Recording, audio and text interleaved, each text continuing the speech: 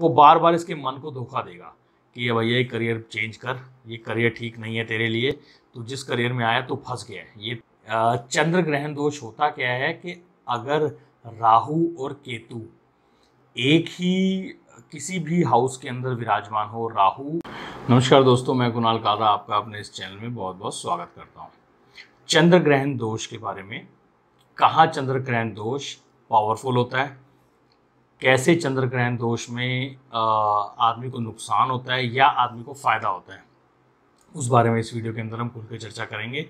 उससे पहले मैं बताना चाहूँगा कि अगर आपने मेरा लास्ट वीडियो नहीं देखा तो चंद्र ग्रहण के ऊपर कि क्या होता है, कैसे होना चाहिए, उसके बारे में मैंने पूरा डिटेल में बताया तो आप वो वीडियो देख लेंगे तो आपको पूरी इन्फॉर्मेशन मिलेगी। आज हम बात करेंगे कि हमने अक्सर देखा है कि चंद्र ग्रहण दोष के बारे में नेगेटिव कहा जाता है, कि चंद्र ग्रहण दोष नेगेटिव होता है। इससे बहुत नुकसान होते हैं, बहुत प्रॉब्लम्स आती हैं।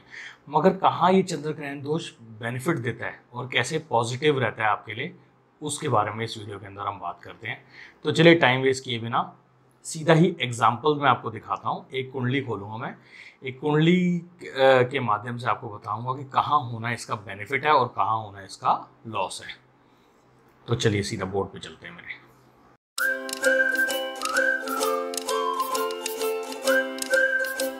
ये कुंडली आप देख रहे हैं। ये कन्या लगन की कुंडली है। छः नंबर यानी कन्या लगन ठीक है?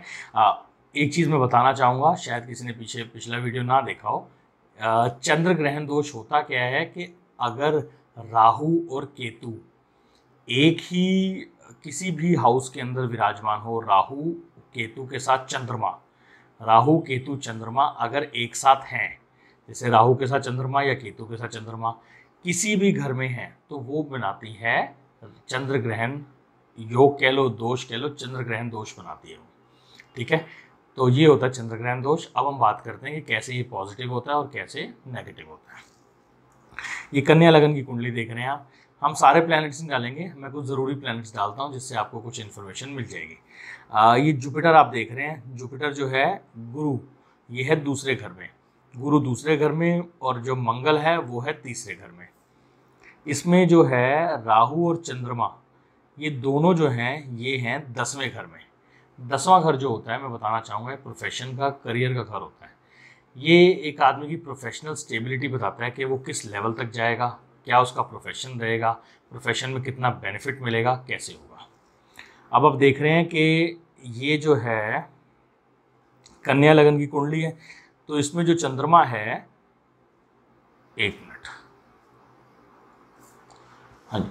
अब आप देख रहे हैं कि कन्या लगन की कुंडली है। इसमें जो चंद्रमा है, वो है ग्यारहवें घर का मालिक। ग्यारहवें घर का मालिक का मतलब हो गया गेंस का गेंस का मालिक। और बैठा कहाँ हुआ है वो? दसवें घर में। तो कई बार ये भी सुनने को मिलेगा कि अपने से एक घर पीछे बारहवें घर में बैठा हुआ है तो वो उसका नाश हो रहा है। इस कुंडली के हिसाब से अगर ये कुंडली कोई भी देख रहा है तो वो कुंडली देखकर यही बताएगा कि राहु चंद्रमा है, ये ग्रहण है, बहुत खतरनाक ग्रहण है। और ये जो है आदमी का करियर पूरा ख़त्म होगा, ये करियर में आगे बढ़ नहीं पाएगा। और इसका जो भाव, जो ग्यारहवा भाव होता है, जिसके अंदर प्रॉफिट होता है गेंस होते हैं, वो दसवें अपने से बारहवें में चंद्रमा बैठा हुआ है तो उसका भी नाश है कि इसको गेन्स भी नहीं होंगे लाइफ के अंदर, इसको लाइफ के अंदर गेंस भी नहीं होंगे। तो मैं यही आपको बताता हूँ कि इस कुंडली के अंदर पॉजिटिव्स क्या है और नेगेटिव्स क्या है। अब आप राहु चंद्रमा देख रहे हैं तो राहु चंद्रमा की युति है इसके अंदर। अब राहु चंद्रमा युति होने के कारण होना क्या है कि जो पहले चंद्रमा की बात करते हैं, चंद्रमा किसके फल देगा? चंद्रमा जो होगा वो ग्यारहवें का भी फल देगा क्योंकि उसका मालिक है और दसवें का भी क्योंकि वो खुद बैठा है। तो चंद्रमा दसवें और ग्यारहवें दोनों का फल देगा।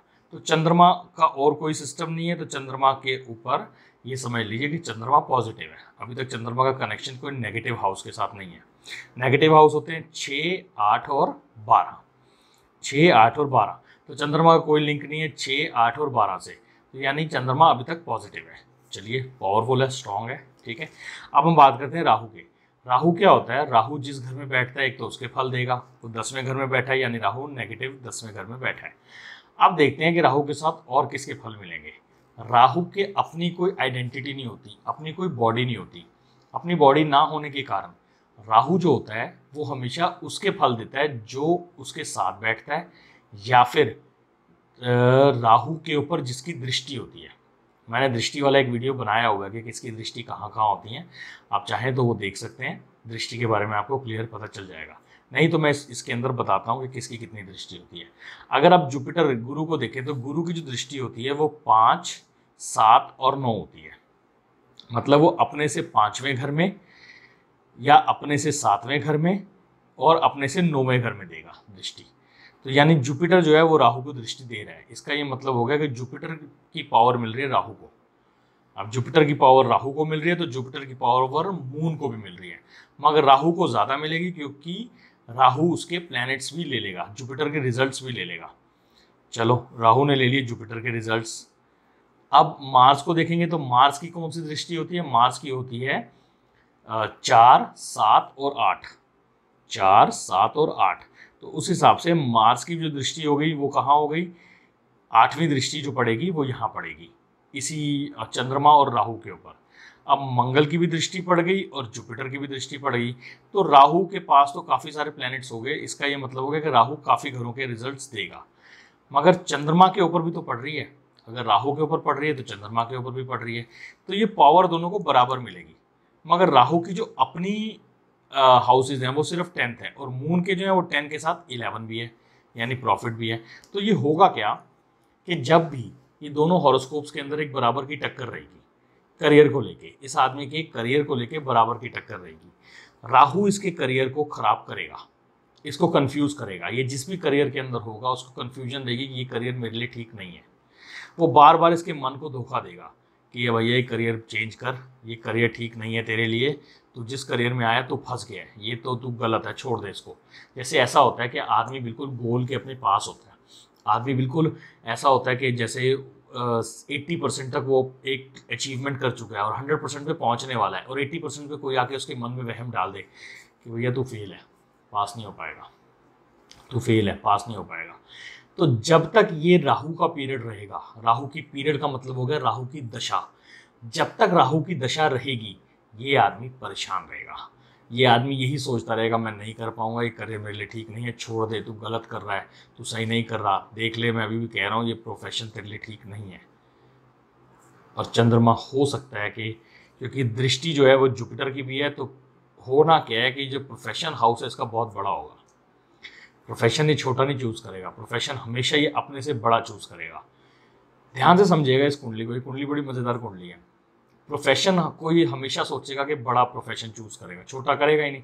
अगर इसकी औकात सौ रुपये की होगी तो ये दस हज़ार वाला प्रोफेशन चूज़ करेगा। सोच लीजिए कितना बड़ा डिफरेंस कि अपने औकात से बढ़ के प्रोफेशन चूज़ करेगा। मंगल उसको दृष्टि दे रहा है तो मंगल पावर भी देगा। पावर देगा इसका ये मतलब होगा कि मंगल उसको पूरी पावर देगा कि भैया, ये प्रोफेशन तेरे लिए, मैं तेरे को हिम्मत दूँगा, तू कर। मंगल अपनी टाइम पीरियड में उसको पावर देगा जुपिटर अपने पीरियड में उसको बड़ा बनाएगा एक्चुअल में। राहु उसको कंफ्यूज करेगा और जब चंद्रमा का पीरियड आएगा, वो राइज करेगा। जब चंद्रमा का पीरियड आएगा, वो राइज करेगा। फ़र्क क्या होता है कि राहु का पीरियड होता है बड़ा और चंद्रमा का होता है छोटा।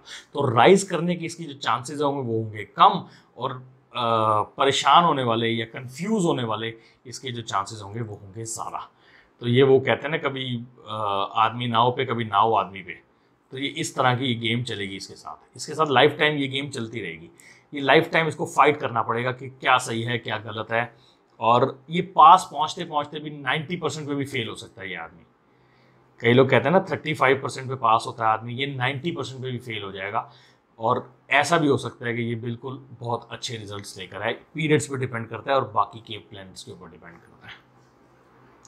बाकी के प्लान्स के ऊपर डिपेंड करता है। तो यहाँ हम इसको ये कहेंगे कि ये जो चंद्र ग्रहण योग है, इसके लिए पावरफुल है सॉलिड है, क्योंकि अगर इसको मन चंद्रमा की महादशा मिल जाती है तो ये आदमी राइज कर जाएगा। चंद्रमा की अच्छी दशा मिल जाती है किसी अच्छे प्लानट के साथ तो ये बंदा राइज कर जाएगा। और अगर नहीं मिलती है, मान लीजिए उसके जीवन काल में नहीं आती है, वो पैदा ही अगर जुपिटर की दशा में हुआ तो जो दशा आएगी वो जाके कहीं नब्बे साल के बाद आएगी।